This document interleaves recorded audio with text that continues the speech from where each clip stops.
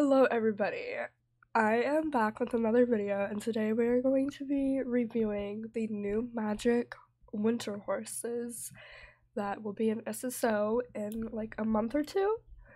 So I'm very excited about these from uh, CC Creations little video that is like 18 seconds in. This horse looks really pretty in my opinion and I like it a lot. Um, I don't really know what to say besides let's just jump into it. So let's get, oh, I forgot to mute it. Um, is that a Paso Fino? Oh, we have, we're gonna get a white one. that is awesome. Oh my god. I wonder, is that the magical coat though? I wonder if that's the magical coat. If it is, I'm gonna be slightly disappointed. Okay, okay, let's just take a moment to appreciate CC Creations' outfit. That matches with the horse so well, and I love it. Oh, I love it!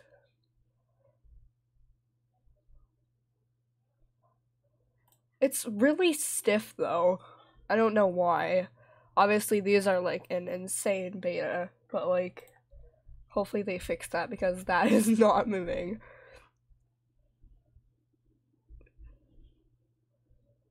Okay, that's pretty. I like it. I like it a lot. I I really do. no way. No way. This is so pretty. That was so pretty. Wait, what? Please tell me that that is not the winter coat. It can. Is it just brighter? Seriously? There's no way. That's a oh the little bunny. Oh, that's so cute. It matches with the horse so well. I love that. And you know what? That that bunny looks exactly like my bunny that I got recently. I love that. Oh, look at how cute. Hooves are different as well. That's nice. Oh my god, I love it so much. I'm definitely gonna buy that. I think that's literally my favorite horse in SSO for some reason. I just love that it's like trickled with snow on its back. And the hooves are so cute as well. I'm not too sure if I'll be able to buy the Paso Fino. Won't be able to, as in I don't really like it. Hopefully they change the winter coat. Oh, look at how gorgeous the little ears like i love that. I really do.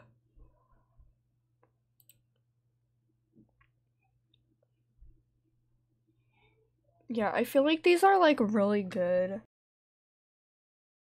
These are so cute.